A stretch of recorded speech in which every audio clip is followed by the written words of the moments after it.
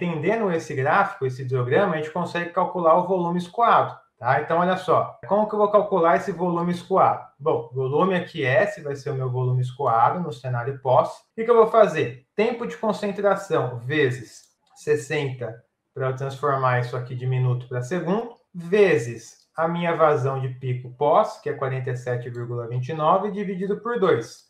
Assim eu estou calculando o volume desse triângulo aqui inicial.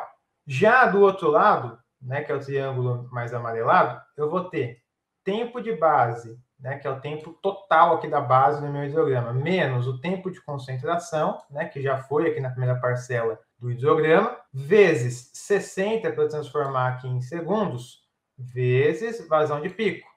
47,29 também dividido por 2. Então, quando eu somo os dois triângulos, eu vou ter o meu volume aqui escoado para o cenário pós, de 188.321 metros cúbicos.